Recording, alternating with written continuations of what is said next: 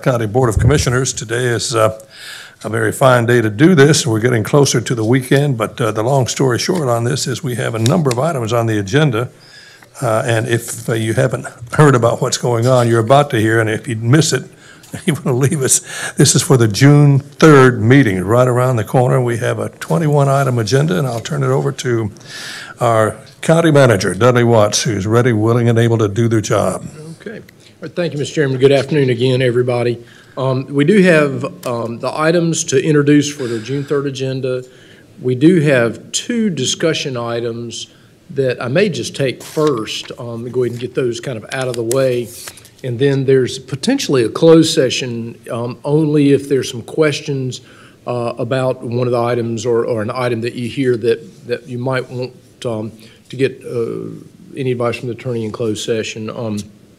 Uh, But I think we can kind of let, see where that goes uh, uh, as we, as we get into the discussion.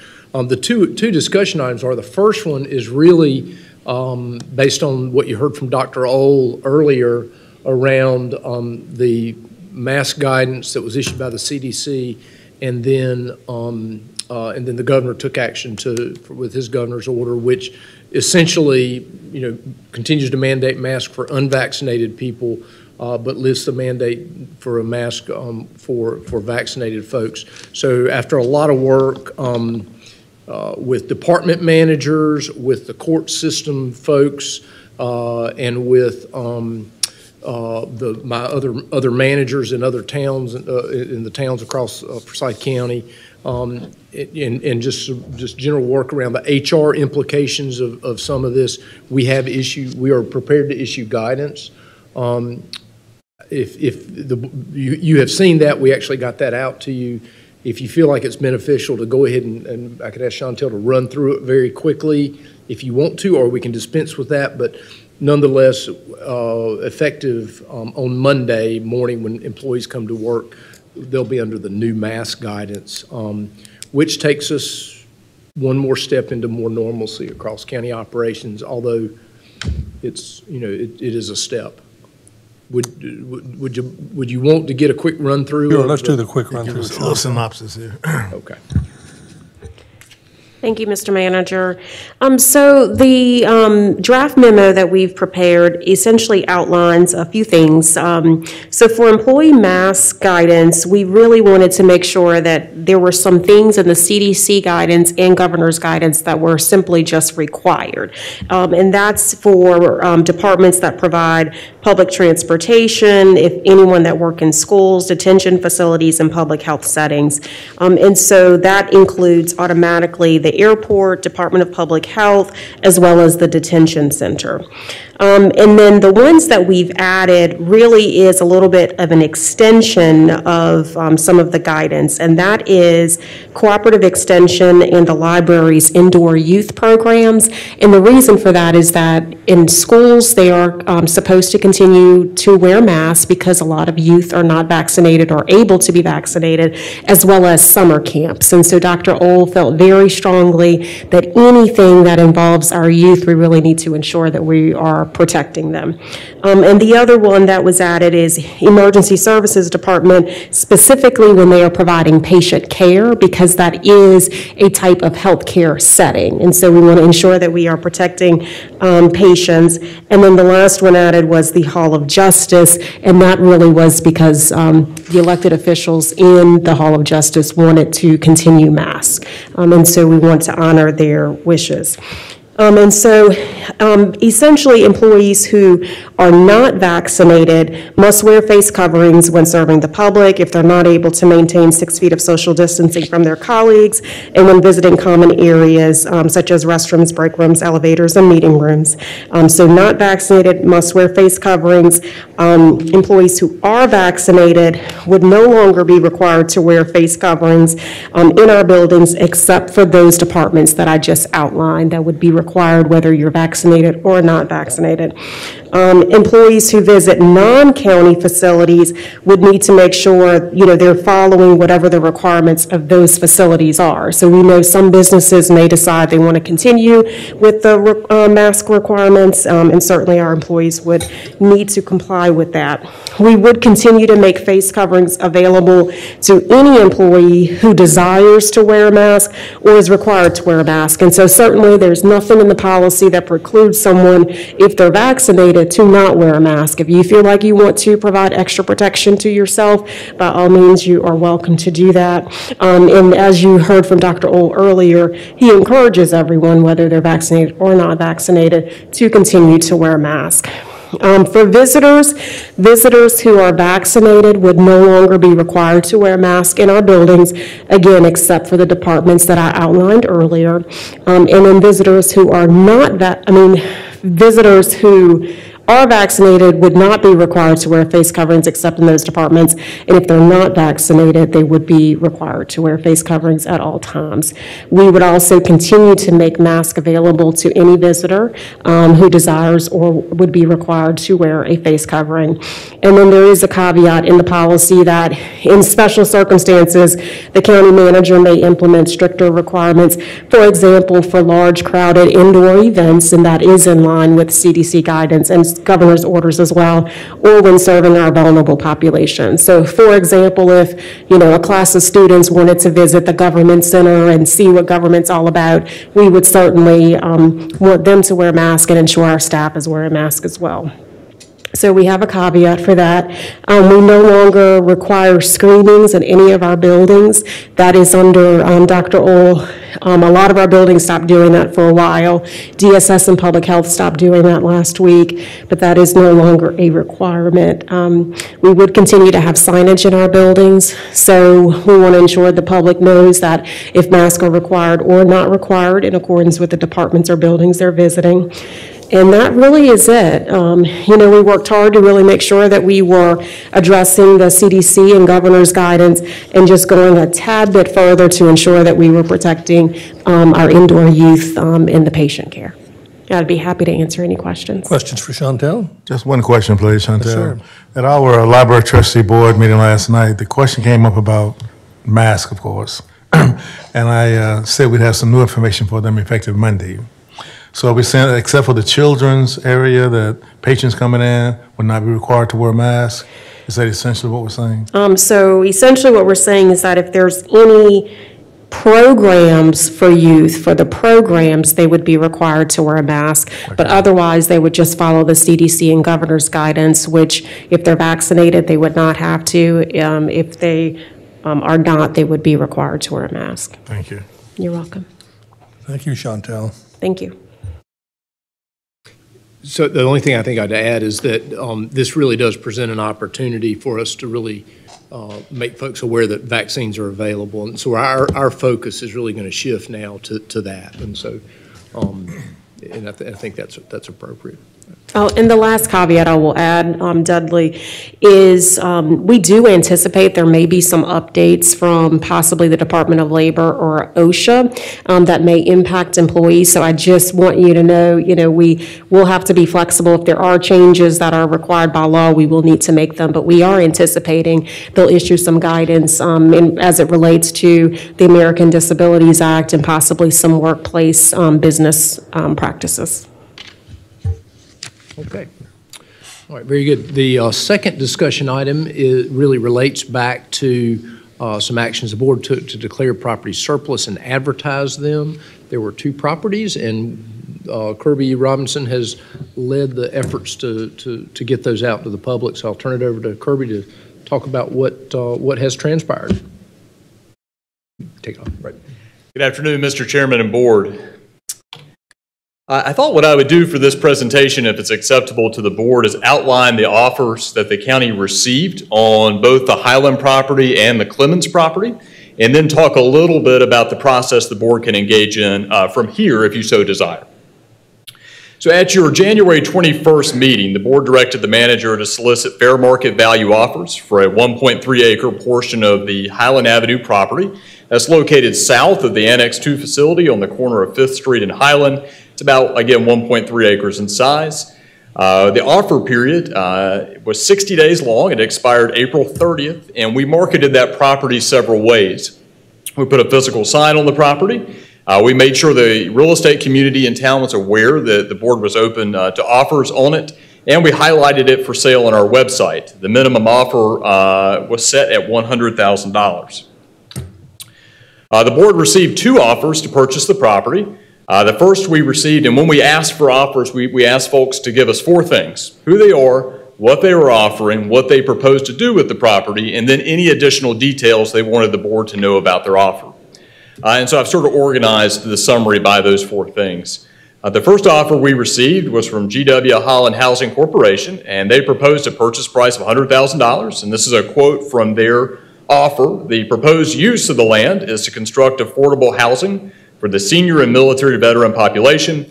And then the additional details the, they wanted the board to know uh, as they are registered North Carolina nonprofit corporation. We also received an offer from United Metropolitan Missionary Baptist Church in the amount of $125,000. Uh, Their proposed use is a centralized park or urban green space, and that would come with a couple of things like pedestrian paths and playground equipment and, and so on. Um, The additional details that they had in their bid that I thought were noteworthy is while they are proposing to use it as a park, uh, they really have two development strategies by which to obtain that. Uh, One would be to purchase the property from the county, again, for the $125,000. And then they would sell the property to the city, and they said within about a year, uh, and the city would develop the property as the park. Uh, The Plan B, if the city was unable or unwilling to complete that transaction, and they noted in their proposal that their council member had said this is something the city might be interested in, uh, Plan B would be to develop uh, the site as an open-air food hub. And I assume that's sort of like a a farmer's market or something like that. So that's the profile of the two offers the board received on the Highland property. And if you have any questions on those, I can certainly address them now, or I can cruise right on into the Clemmons property. Questions or comments? What, what is the kind of the next step? Is it, is this going to an upset bid process? That's a great question. Let me, let me skip two slides ahead, and we'll, I'll talk a little bit about that. Oh, three slides ahead. So at this point, the board has complete discretion over what to do now. Uh, If you desire still to sell either property, you can select one of those offers and advertise it for upset bids. That would be the process to engage in to sell the property. You can, if you do uh, desire to do that, we'll bring you an official resolution, of course, to, to do that. During the upset process, you can reject offers at any time. Uh, You can place general restrictions on the use of the property and require any subsequent bidder to meet in substantially the same form those use requirements. Um, By law, we would collect the 5% deposit from the, uh, from the bidder. That deposit would be applied to the purchase price of the property less the cost of the advertisement. And then at the completion of the upset bid process, you would have the opportunity to approve that sale prior to the county engaging in a, a purchase and sale contract. So you would vote on it twice. Once to advertise for upset bid, and then once to consider the last and highest offer. Um, Does that answer your question, sir? Yes. Great. Additional questions? One question, Mr. Chairman. Yes, sir. How long will the upset bid process last? 30 days or? It's a great question. So the, the upset process is 10 days. If you receive an upset bid within that 10-day period, it starts over again. Um, And so uh, the, the clerk uh, is statutorily uh, the, the entity that handles that process. And there's minimum thresholds that a bidder would have to meet. And the county attorney can correct me if I'm wrong, but I think it's, it's a 5% upset, Gordon? 5% upset. So, or, or at a minimum $750, I think is the way the statute reads. Okay. Additional questions, comments? So in terms of, what do we need to do to, to- it- on those first two? Yes, sir. I mean, they're kind of, they're, they're, they're pretty different. They are. So. One clearly, you, you kind of, once it's done, you know what it is. The second one, I mean, I like it, and I like that, that development plan, but it also sounds like, yeah, it might be a park for a while, and then it might turn into some other stuff. And I guess that's probably, that's probably the only thing that gives me a little heartburn. Sure. And, and, uh, the, the manager can help me sort of think through this a little bit. In my mind, you're, you're sort of making the determination that, number one, we want to sell the property, right? So that's sort of the first step. And the second part is, you know, what's sort of your goal in that? Is it to obtain, you know, the highest dollar amount? Is it to potentially control the use of the property? So that I think there's a determination on the use of the property there. And then once you sort of settle on those things, you would then pick an offer that meets kind of that criteria and direct uh, the manager to advertise it for upset bid. And then you could condition that on the potential use of the property if that was a concern. I think the more that you condition the use, uh, the, the, you know, less, you know, potential revenue you might receive on the property is probably a good thought too. That might not be your primary concern in it, obviously. Additional comments? If you Just one- limited the use at all, does it give an opportunity for either bidder to withdraw? So you would, uh, and I might misunderstand your question. So if you, if you picked, let's say, the Holland Housing Corporation, because they submitted their offer first, I'm just talking about them in this context, and you said, uh, we're going to condition the use such that it's senior uh, and a a military veteran affordable housing, we might go and work with our economic development housing folks to develop some metrics for that potentially, and advertise that as the, however the board would want us to.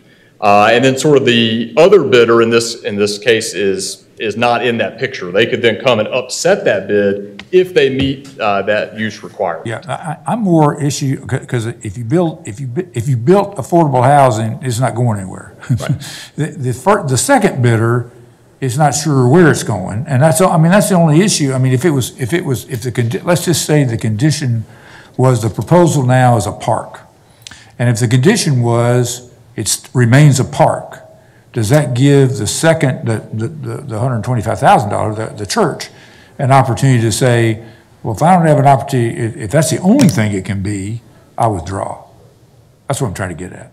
I, I, I would assume that they, you could, you could set that in a resolution and they could, they, they could withdraw by not placing a deposit and proceeding with the offer. Okay, that, that makes sense. At this point, there's That- no makes- financial That, consideration. that makes sense. There's no- no- It's like no cards played yet. That's I right. got It's just I an got offer. We've just, we've just looked at what the game is, right? Yes, sir. I, I got you. Kirby, I had one other question, please. Yes, sir. Finish that.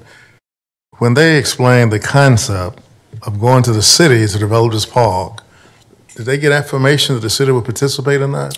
So the, the comment in the bid was that the council member for that ward has communicated the city has funds, is actively seeking to spend sort of part funds on land acquisition was how I read the bid. There was no commitment on the part of the city, and I think that's why there's a Plan B in there. So I think that's sort of up in the air as, as I read the bid. Was just on a 30-second response to that? I'm trying to maintain my religious stature here.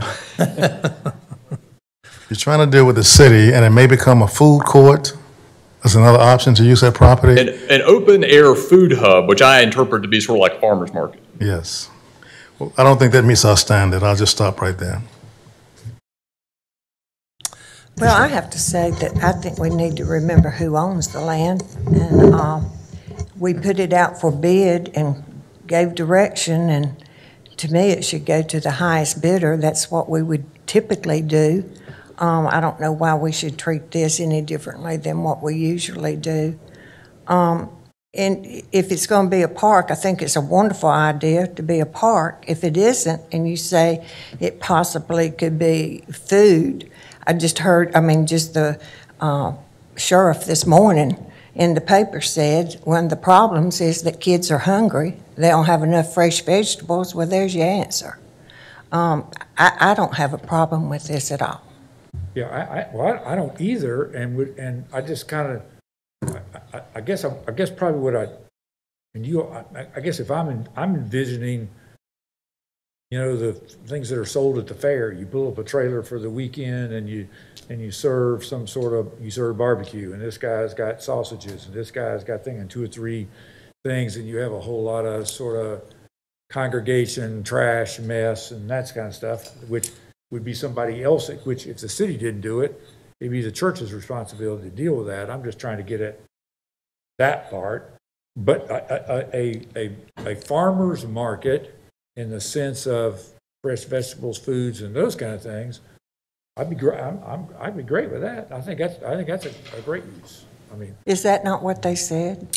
I, I would probably need to clarify exactly what an open-air food hub is, uh, and I can bring that back to you. And I think the way to do that, and the county attorney can correct me if I'm wrong, we can handle that through a uh, contract and a deed restriction, essentially. Yeah, and I then- would- And then just go through the upset bid process. And People want to do more, that's great. I would just say, I would just caution um, the board and, and staff that we, if we make the restrictions too tight, then we're defeating the upset bid process. So I, I would you probably want it to be broad enough to include uses that you think would be acceptable, but you certainly don't want to limit it to the original bidder. Chair- Chairman, if I may, um, Go right ahead. yeah, so I just wanted to weigh in on this because um, I had a little bit of heartburn when we first start discussing um, the use of this property and making it available for sale. Um, We wanted to, to stay in alignment with what was already happening um, with public health and DSS. So I believe that we, I remembered in that, um, in that process, we did discuss affordable housing. And it's hard for me to accept even a higher offer that do- it does not align with the mission of the intended use. Um, So I just wanted to make that statement. Well, we also said we wanted it to try to stay a public health campus. And to me, a park is certainly part of a healthy life. And um, a farmer's market, I understand, is desperately needed, and fresh food is certainly part of public health. Yeah. My I last mean, comment for now- I guess, oh, I'm I sorry. guess what I would have liked to have, Chairman or um, Dudley, is that if there was some intent in terms of United Missionary Baptist Church, which does wonderful things in this community, they are a great church. Um, I wish they just should have come and kind of had some conversations with us. That would have been helpful for me. I was going to ask, uh, maybe it's an attorney question, is there a problem uh, with the board hearing presentations from both, uh, both bidders? That you could absolutely do that. As, as Kirby stated when he started off, y- y- you have the discretion here. You don't have to sell the property, or you can sell it to whoever you want if we go through this upset bid process. So certainly, if you wanted to hear um, from each of these um, bidders, you could, you could do that. Fleming El-Amin. I lost my thought for a minute, but I think it's coming back. Um, Kirby, just in terms of process, if we offer Plan B an option to buy this property, and Plan A comes along and says, listen, I'm going to offer an upset bid, how does that work? So it, it- it's, it, it has not happened a lot, actually, with some of the ones I've worked with in the past. Um, but they would essentially bring in their deposit for five percent of their offer amount. And that's how they would upset the bid. They would deliver that to the clerk. Uh, and that ten-day period, everybody would be notified and the ten-day period would restart. And that goes on until you reach the last and highest bidder. So Chairman, if I may, um, and if I'm out of order, Gordon, please assist me with this, but um, I probably would like the board to just kind of step back for a moment and realign our mission and goal for this property, because again, we've been, we've been notified that we have an opportunity to, um, to not sell it at all. Um, And that may be the course that we want to take until we've readily identified what the purpose of or the intended use for this property is going, going to be. So whatever the steps need to process that, if we could, you know, Mr. Manager? Uh, The only thought I had, which aligns with what Commissioner McDaniel is saying, is um, some of those uses, as I understand it, actually require rezoning. Is that true, Kirby? I, I think um, that both of these uses could, could happen to some degree under the Okay. the zoning. The park, the park might be the only one, but typically parks are pretty easy to work into zoning. Surprisingly, the multifamily part actually works into Does it? Okay. zoning. Yeah, So we are at your disposal. I think there's a lot of ideas. Perhaps we put this on the shelf for a minute or two, and um, when everybody gets ready to, just let me know when we're ready to take sort of the next step. Good idea. Or, or, or do we just, do we want to hear, I mean, we didn't hear from the church. And, I mean, I, I, I thought the presentation about the, about the, the housing deal was clear, and I, I got it. I visited their other place, and I understand what they do, I understand why they want it. And I understand why it's, I- I- it, it fits. On the other hand, also, that's, I agree with uh, Commissioner McDaniel, great church. I kind of like to hear their sort of vision of that a little bit more and a little bit more about kind of the, some of the what-ifs might be on that, because I think that is our job, is to decide that purpose and what it could become or might become. And I'd probably be interested in hearing what they got to say, but I don't want, if no one, if I'm the only one I don't, just not do it.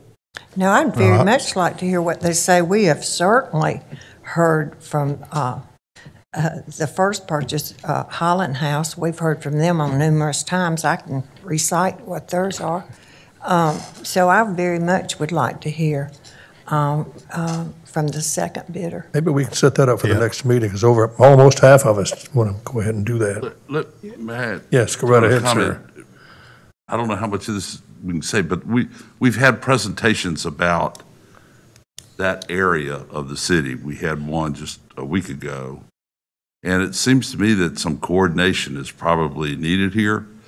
And maybe all of these entities could get together somewhere and, and have a discussion about what that should look like. It is without a doubt going to be a very important part of Winston-Salem uh, in, in the near future, a very near future.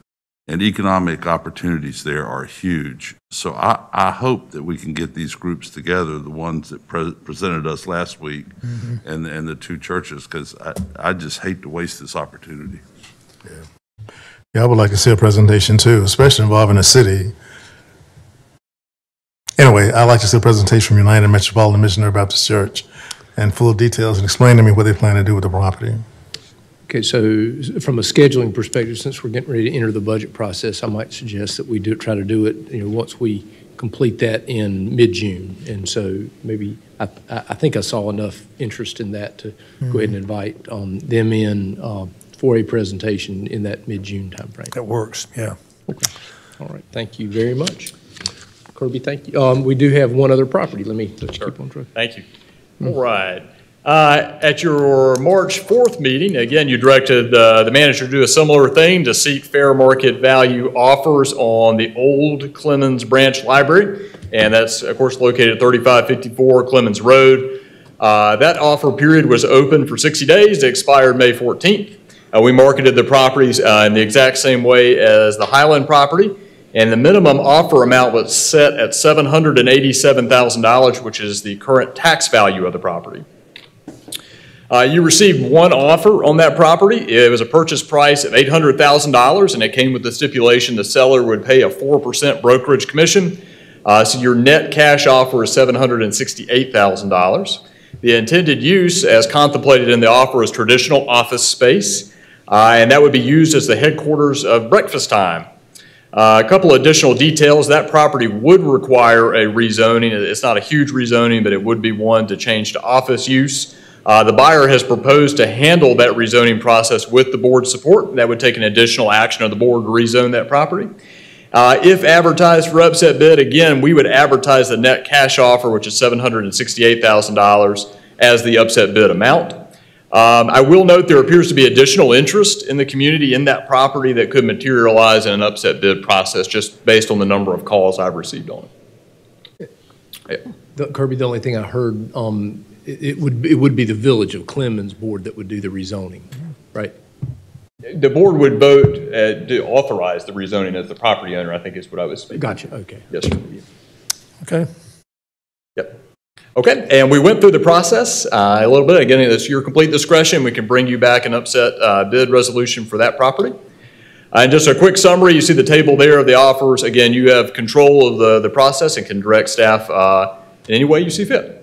Uh, Again, I'm happy to answer any questions the board has. questions or comments? When do we vacate that building? It's coming up in the next couple of weeks. I'll defer to Damon. So uh, they start uh, packing the move on May 24th, and the building will uh, close to the public on June 1st, and then uh, we will uh, open the new library on June 10th, With grand opening ceremonies? on June 17th. Okay.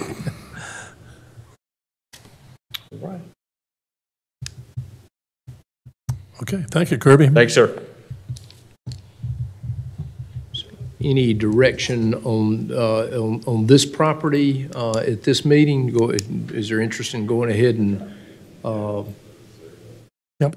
okay, so, so I, would you, you would like to see, um, we, we can actually include it in this next agenda, so, um, Let's do that. All right, very good. All right. So with that, I'll go ahead and dive into the, that's- a good segue into the items for consideration at the June 3rd meeting. I'll go ahead and dive into it. Um, The, um, you've got the old business, let me take that off. Uh, You got the old business that's items one, two, three, and four. Um, So I don't think we need to go back through um, any of those in any more detail, because we just, uh, just did. Uh, Item five is a resolution recognizing June 15th as World Elder Abuse Awareness Day in Forsyth County, North Carolina, and Rick Hall will be here to, to talk to that. Uh, Item six is a resolution supporting the eligibility for and nomination of the Elizabeth and Bowman Gray Junior House for the National Historic, Register of Historic Places. Aaron King should be on the line and review this matter. Aaron, you there? I am, Dudley. Can everybody hear me okay and see Yes, the sir. slides all right? Sound good. All right. Well, um, if this property looks familiar to you, it should. We talked about this in December of last year. Um, this is the Elizabeth and Bowman Gray Jr. house. You can see a picture of the house there on the slide in front of you. And you can see a location map. This is in the uh, just west of the Brookberry Farm uh, neighborhood. You can see the property outlined uh, in, in yellow and orange there. This is an image looking at the just an aerial image looking at the um, the existing house and the outbuild and the, the accessory buildings that are part of this National Register uh, nomination. So just kind of in review, as we think about National Register uh, listings, there's there's two buckets there: significance and being an important example of period architecture, landscape, or engineering, and also integrity that the property we're discussing must retain enough of its uh, historic character to represent the period and associations adequately, and this site does both. So, um, April 7th, the State Historic Preservation Office, uh, the requested comment from, from your, um, from the Forsyth County Board of Commissioners. Uh, on May the 5th, the Historic Resource Commission unanimously recommends the Gray House be determined eligible for listing. Uh, and then, as we're briefing this today, we're getting this ready for a June 3rd um, vote on the eligibility from the commissioners, and then from there, this would go to um, to the state for uh, a vote on eligibility. So, so just to remind the commissioners what we did in December, that was a local historic landmark request, and the board did approve that. That carries with it some some regulatory requirements in terms of the um, any alterations to the property that those meet our, our local historic landmark um, standards what we're doing today with a national register nomination, that is really more of a tool. It's not so much a regulatory tool, but it is more a tool to recognize the, the significance of the property. So just wanted to make that distinction, and I'm glad to answer any questions if there are any. Comments or questions? One question, Mr. Chairman. Sure. Aaron, I think at our last presentation, I mentioned that, you know, I've been at this property a few times for fundraising activities, and there are two graves of enslaved people on that property that go back a few decades. And I wanted to make sure that those will not be disturbed in this designation. Yep, Commissioner El-Amin, you absolutely did ask about that, and um, those grave sites are not located on the subject property. They are they're not located there, and it's my understanding that the, the developer of Brookberry Farms is well aware of those grave sites. Okay, thank you.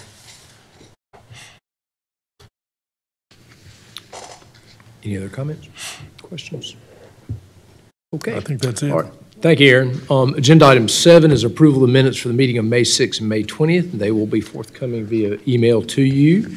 Uh, Item eight is a public session. Item nine is an amendment to the 2020-2021 debt service fund to appropriate $6,750,000 of 2021A limited obligation bond proceeds for the redemption of callable maturities from the 2009 limited obligation bonds.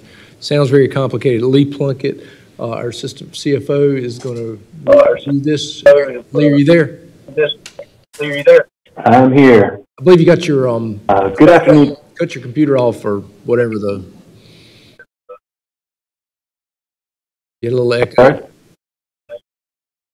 Oh, um, let's see. Got a little feedback.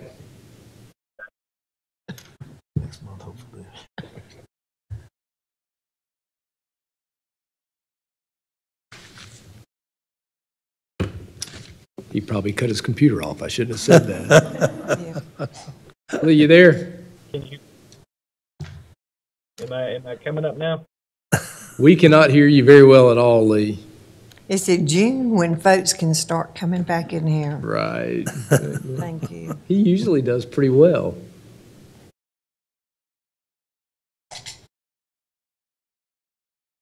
Lee, I am going to move to the next item. I'll come back to you. Uh, Agenda item 10 is an amendment to the FY 2021 budget. ordinance. It appropriates $40,000 of committed fund balance to the library for the purchase of technology. Brian Hart should be on the line. Brian, are you there? Yes, sir. Yes, sir, I am. Very good. Go ahead and review it. Good afternoon, uh, Miss- good afternoon, Commissioners and, and County Manager. Um, yes, this particular, uh, budget transfer would allow for the library to purchase, um, numerous, uh, different, uh, technology to support, uh, programming for, uh, ages, for all ages, uh, frankly, out of the central library. We're excited to be able to do this. This was, my understanding is that this was a part of, the original, um, allocation for the department or for the central library location when it was uh, kind of first erected and established here. And so uh, we're excited to be able to do this and bring this to the community at this time. Yeah, just as a reminder to the board, there were some donated funds that were received, and, and so this honors the, the intent of those donated funds. So um, that's, that's kind of where we are with this one. Any questions for Brian? Questions, comments? Okay. All right.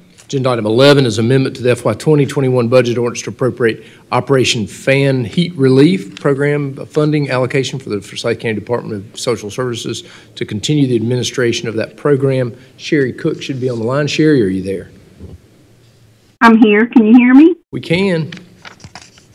Okay. Uh, good afternoon. Um, Forsyth County has received $3,275 to continue administration of the Operation Fan Heat Relief Program. The purpose of these funds is to purchase fans to be distributed to the older adults and older and adults with disabilities to make a more comfortable living environment and reduce heat related illnesses during the summer. The program service period is from May to October of 2021. The eligibility and the distribution of the fans will be determined by the DSS Adult Services social workers. Um, the funding is provided by contributions from Dominion Resources, Duke Energy Carolinas, and Duke Energy Process Progress. There are there is no county money involved with this program. Any questions?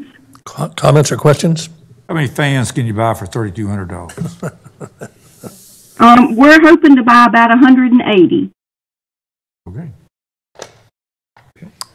There you Thank go. you, thank you. All right, thanks, Sherry. I'll, I'll go back to item nine. Lee, are you on the line? Lee is not on the line. I can tell you what this item is. Um, so when you issue, when we issued this recent debt that we did so well with, there was actually some bond premium that, that occurred. And, you know, we made a decision a number of years ago not to try to expand the scope of projects with bond premium, but rather to, to make sure that it kept the, the, uh, the, the intent of the original issuance whole. And so what this does is appropriate that and essentially pay debt service with. So that, that's what that bond, that one does. I'll, um, I'll check in with Lee and make sure, perhaps we'll get Lee in, in chambers next uh, Thursday to, to make sure there's no questions. Anything else on that? Okay. Item 12 is a resolution authorizing and funding positions to be utilized for paid intern partnership for a paid internship partner with Greater Winston, Inc. Shannon Hutchins, our HR director, is here. Mark Owens, there's Lee, look at that. Uh, And Mark Owens may be on the line, I don't know. He is. Okay. Hi, good, af- good afternoon, Commissioners.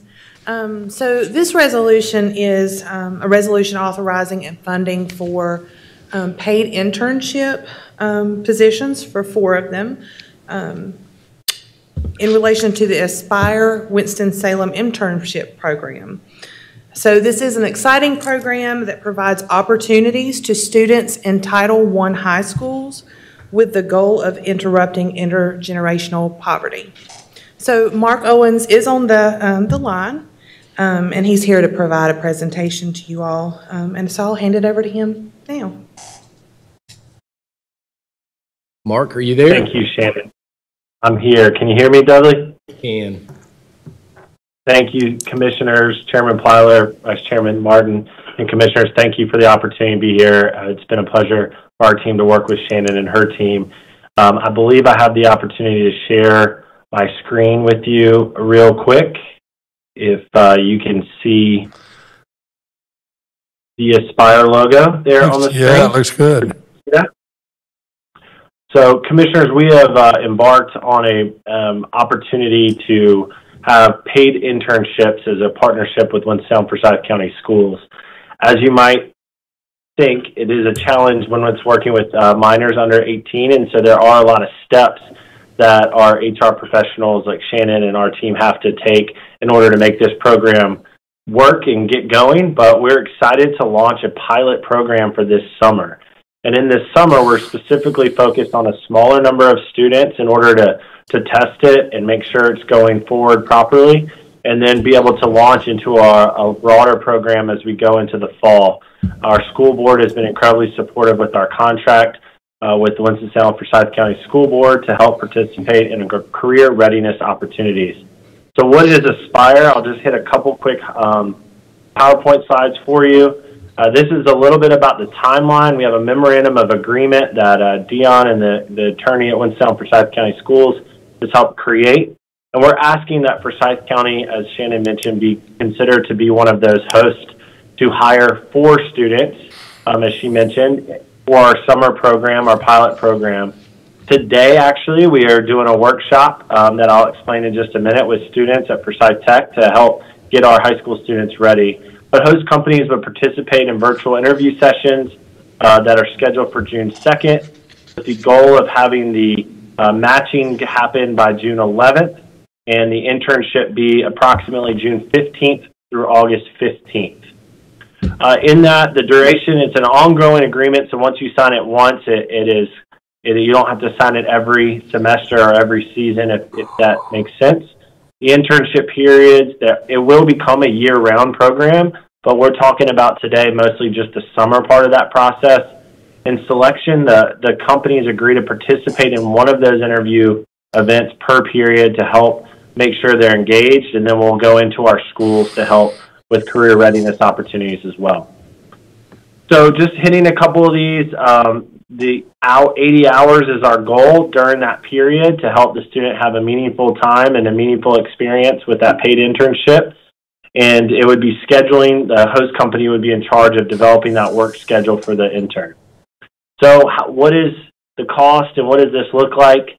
Um, a couple other things quick. First, we're looking at industry sectors for the summer. We're specifically working with the city and the county and other nonprofits like Novant Health to try to make in, in city government to try to get that started as one of our key industry sectors. Um, but really, we want to have fun and get students to, to dream and see what opportunities are there. What I am excited to tell you today is that we will cover 100% of the pay uh, for the students in the summer period for June 15th to August 15th. So if you hire, Forsyth County hires those interns, 100% of their wages will be reimbursed, and this shows a little bit of how that reimbursement will take place. We've been able to do this due to some great grants by Truist and Bank of America. I mentioned Forsyth Tech, they're involved. We had an employability workshop today where we are helping uh, teach our young people how to become employed. We'll coach on resume writing, mock interviews, and again, the virtual mini interview sessions to get practice as they go. And then we will launch into long-term program as we go into our Title I schools with our summer pilot and then get into the full program in the fall. The one change that happens in the fall is instead of 100% reimbursement, we go to a 50% match reimbursement. So for $10 an hour, we would pay $5 an hour and ask the host company to consider paying that other $5 an hour. But right now, we're focused on the summertime, and we'd be honored if, if Forsyth County would help lead and launch our Aspire Winston-Salem Forsyth County program. I'm going to try to stop my screen share and be happy to answer any questions that you may have. And Shannon, hopefully I hit the highlights for you. Questions, comments? It's a great idea. I really appreciate it. Sure is. Thank you, Mark. All right, very good. So I am going to go back to agenda nine because I told you, everything I told you was totally wrong. I was thinking it was something, it was a different item, so I'll turn it over to Lee Plunkett, who, who either drove downtown very fast or ran upstairs. I think it was the latter, so. Uh, my apologies for that, Commissioners. Um, so as a part of our upcoming limited obligation bond sale, Uh, This month, or excuse me, this next month, uh, we're going to refund our 2009 limited obligation bonds. And so as part of that sale, we're going to get proceeds from the sale, and then we're going to uh, receive that, and then we're going to pay off our bondholders. And so it'll be an amendment to the debt service fund for 6.75 million in order to do that. I'd Be happy to answer any questions. Questions or comments? Glad you made it. Thank you. Thank you, Lee. Appreciate that. All right, agenda item 13 is a resolution awarding, a- awarding a contract for a computerized maintenance management system. Kirby Robinson with General Services will review. Good afternoon again, Commissioners. Getting good at this. All right.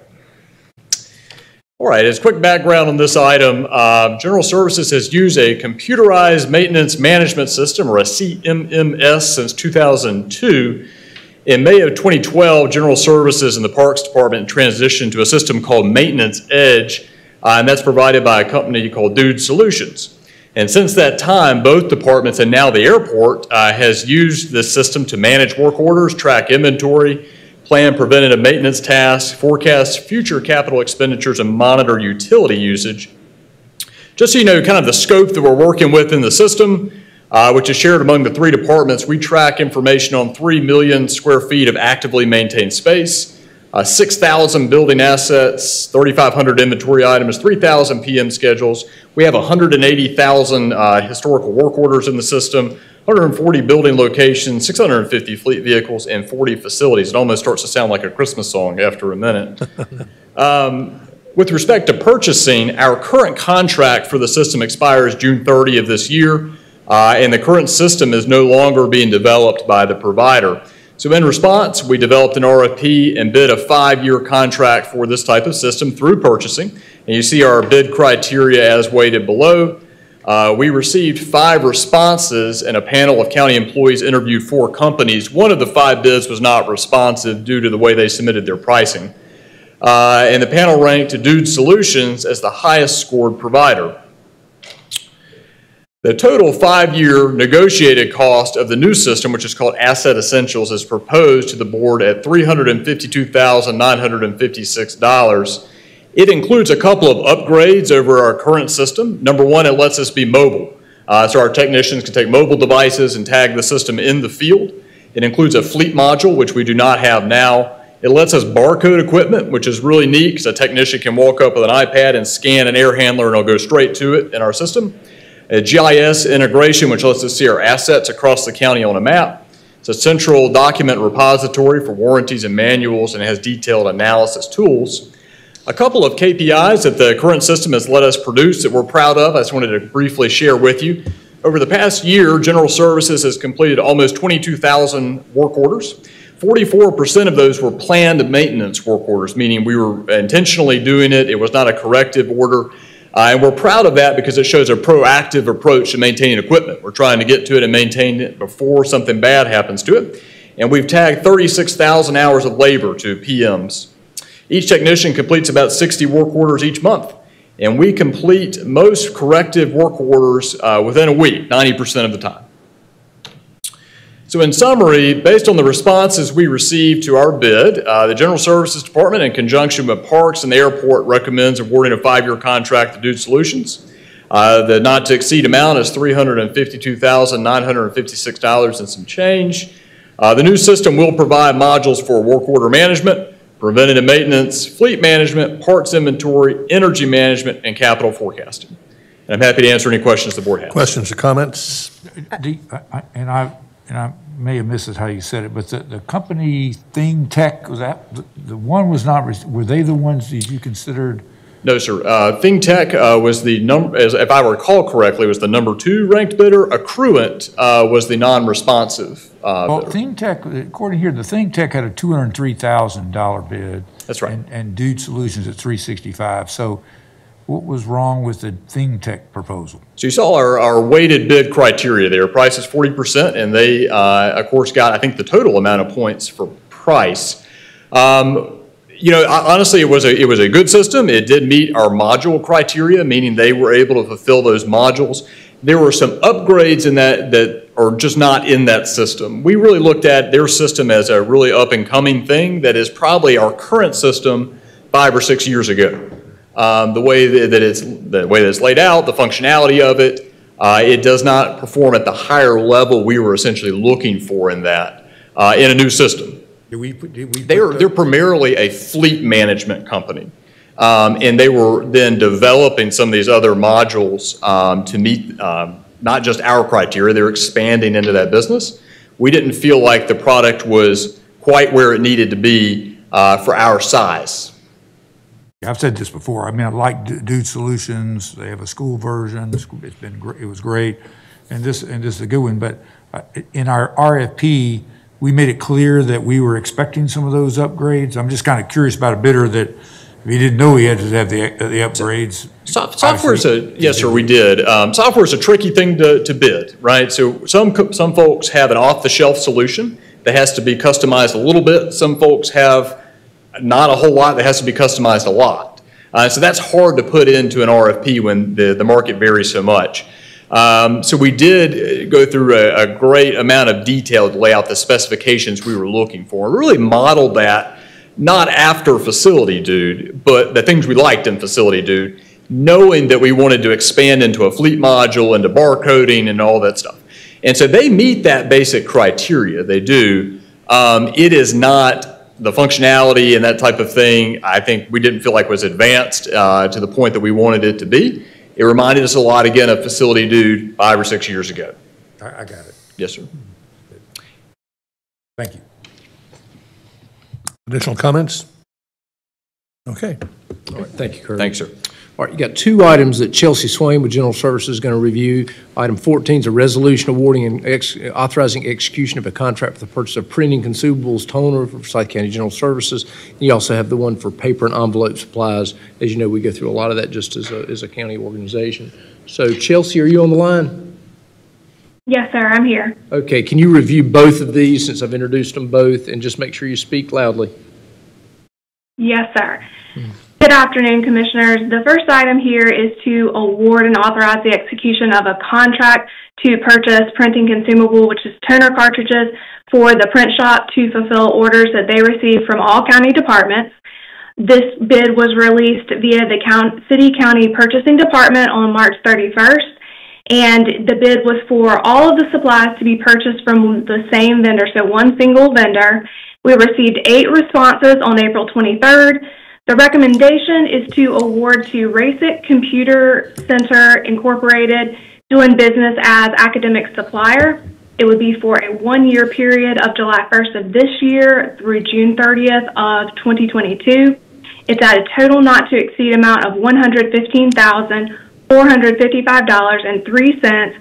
This is less than our current fiscal year. However, we, we buy less. We're not using as much toner because we're doing away with the desktop units um, and going more towards the mu- multifunctional devices that MIS manages. Um, Computer Center Incorporated, doing business as academic supplier, is a vendor we've used in the past before we switched to purchasing from one single vendor. We we had no problems with them in the past. They are um, headquartered out of Chula Vista, California. Um, however, I did uh, check with their references, and all three of their references uh, recommended them very much so. Um, so I'm happy to answer any questions if you have any. Comments or questions? A lot of competition for that Yes, Sir, absolutely. Thank you. I'll move into, I'll move into the next item. The next one is to award and authorize the execution of a contract to purchase paper and envelope supplies, also for the print shop to fulfill orders um, from all of our different county departments. This bid was also released from the City County Purchasing Department on March 31st. Um, and again, we did it for the bid to go um, one single vendor to per, um, supply all of the items. We only received three responses with this on April 21st, and one was considered non-responsive because they could not supply um, quite a bit of the supplies that we need. The recommendation is to award to BW Wilson Paper Company Incorporated for a one-year period, July 1st of this year through June 30th of 2022. It's a negotiated total not to exceed amount of $125,814.17. This is an increase over the current year. Um, our usage has stayed about the same except for some items related to COVID. However, the pricing of products has increased dramatically since last year. Um, and BW Wilson is our current vendor. This, if awarded, they, this will be their third year uh, being the vendor for paper and envelope supplies purchases, and we're very satisfied with them. And I'm happy to answer any questions you may have on this. Questions or comments? How, how much was the increase uh, this year over last year? The negotiated total, so for what we are going to award, was a 2.4 increase. If we went with their initial response before we took out some options of supplies to offer, it would have been a 12%. Okay, yeah, is that, you went from 137 to 125, so the 125 was, what'd you say, four, thir- what was the percentage, 3.4? 2.4. 2.4, okay. Thank you. Mhm. Thank you. All right, very good. Thank you, Chelsea. Uh, Item 16 is a resolution awarding a contract to Law Enforcement Services Group, PLLC, for pre- and post-hire psychological and medical services. Randy Hunsucker, the Sheriff's Business Officer, should be on the line. Randy, you there? Uh, yes, sir, Dudley. Can you hear me okay? We can, thank you. Uh, well, thank you, Dudley, and good afternoon, Mr. Chairman and board members. Uh, many of you may know uh, Major Henry Gray uh, to my right, and he's going to start us off today. Good afternoon. The items before you is to approve uh, continuation contract with the FMRT known as the uh, Law Enforcement Service Group. It also provides psychological services uh, for post-hire medical services otherwise fit for duty. In the past, the staff has communicated with LabCorp, the Public Health Department, Wake Forest Baptist Health and Occupational Health Services, and LESI out of Greensboro. However, none of the vendors have the capacity to conduct this work are too far and inconvenient for the employees to fund this. And uh, the funds for this contract will be included uh, in the proposed 21-22 budget, and we're uh, asking for no additional funds. Are there any questions we can answer for you today? Comments or questions? Randy, did you not- not get any other sort of vendors that could bid on this service? Uh, they did, uh, the, the FMRT group has a trademarked uh, brains assessment that no one else has. Um, we know we have communicated a lot with the public health department, uh, Wake Forest Baptist Medical Center. I mean, and no one has the capacity to to provide us what we need at the volume we need it. So this is the only company that we can find right now. We've tried.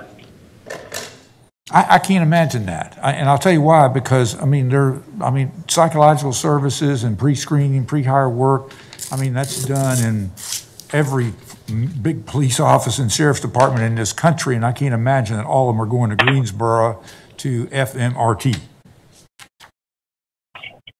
Well, it's the only uh, company locally. I mean, the closest one is in Greensboro, which, as the mayor said, is too far away for our employees to go. Uh, so it's the only local. It's the closest company that does this, And, and it's a one-stop shop. You don't have to have a contract with LabCorp, a contract with FMRT, a contract with somebody else. It's all one-stop shop. Uh, and no other vendor here locally has brains assessments, which we use uh, to uh, do the initial screening for our candidates. It's a trademarked. Well, I, I, I'm, I'm not familiar with a trademark issue for psychological services and review, but I, I'll trust you on that. And I do think 90,000 is a pretty reasonable fee. It just strikes me that that would, it strikes me you could also do, I mean, in the, in the virtual world, do basically virtual assessments, um, and you could be anywhere in the country. I, I, and, and is, is there something unacceptable about, uh, kind of the, the virtual pre-hire psych, psychological interview?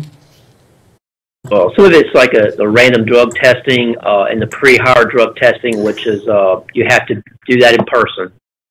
I know, and, and as you said, LabCorp is right here, and they do that all day long, every day. So, I, what, other services am I missing? What am I missing here? Well, they uh, they this is a one-stop shop that handles all of our, you know, through our hiring process. Um, and to have multiple contracts with different vendors to do similar things would be less efficient, we believe, uh, and just wouldn't be manageable. So this is, uh, we prefer to do it with just this one company that does everything for us. Yeah, well, I might prefer to work with somebody, but they may not be as good or they may not be as cheap as somebody else. Um, and, and you haven't articulated, other than pre and post test screening, exactly what services are provided. And I apologize for my ignorance on this. Uh, well, it, it varies in, in, in tuberculosis test, uh, psychological analysis, uh, the, the drug testing. Um, is there anything else you can think of? It remember back on. It, it's just a complete, comprehensive, fit for duty medical analysis, uh, and then a very comprehensive psychological examination of everyone as well. Um, and then uh, that's that's going to be the medical and the psychological testing. Just one Uh, last, then there's a, a written test. It's an in-person written test, a brains assessment that assesses the um, the what uh, reading level uh, grade they, they read on on because we want uh, above a certain reading uh, grade level. as well as decision-making uh, tools, sir. Thank you. Last question, and I'll, I'll be quiet, is, is that uh, who does the city of Winston-Salem use for this? Uh, FMRT. Okay, thanks. All right. Thank you. Thank you. All right, thank you, Randy. All right, we have um, item 17 is a resolution authorizing the grant of a right-of-entry agreement to North by Northwest Consulting Incorporated to access real property located at 400 West Hanes Mill Road. Chelsea with General Services will review this. Chelsea, you there? Yes, sir, I'm here. All right. Um, as the county manager said, this is to authorize a grant of a right of entry for 100 West Hanes Mill Road. This is the Kaleideum North property.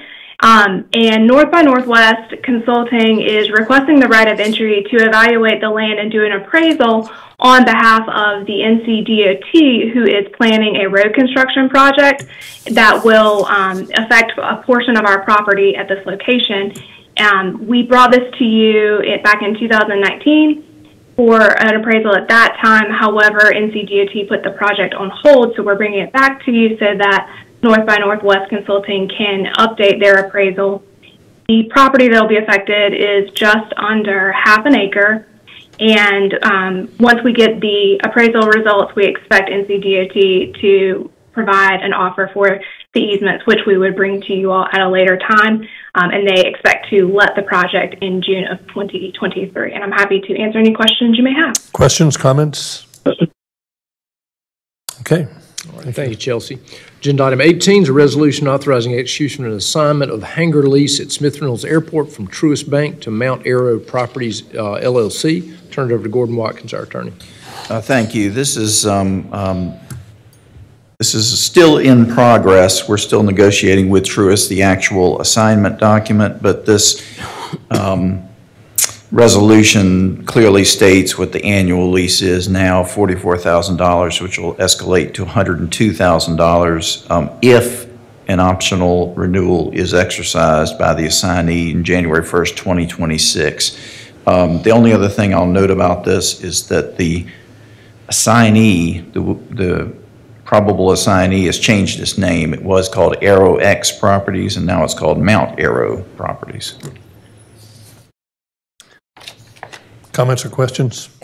I just want to verify one thing, Gordon, that after 2025, it goes back to the original rent, or, That's correct. okay. And, and that's, that's pretty firm. That's in the third paragraph. I mean, there's no loopholes or anything in there, is there? I hope. All parties are happy? Mm-mm. That's the reason I asked that. So all parties are not happy, mm. okay. Mr. Watts? Okay. Any other question? All right. Very good. We're rounding it out. Item 19 is a resolution approving refunds by the tax collector, assessor collector in the amount of $1,332.49. It's from the North Carolina Vehicle Tax System, over $100. You've got two reports that are in the agenda, the contribution-based benefit report and the human resources report. And Mr. Chairman, that is all we had. Oh, come on now, get two or three more items. I guess unless there's any questions that would need to be addressed in closed session, but I don't think I heard anything, so. All right, any questions or comments? Final words before we move? Okay, you're, you can go. Talking about the cl- closed, se- we have a closed session, We right? do not, I do not believe Well, I need a thought we closed did. session. So. Well, in that case, do I hear a motion to adjourn? Ted Kaplan says, so moved. Do I hear a second? Second by Tonya McDaniel, uh, Daniel. All in favor, say aye. Aye. Opposed? We're adjourned.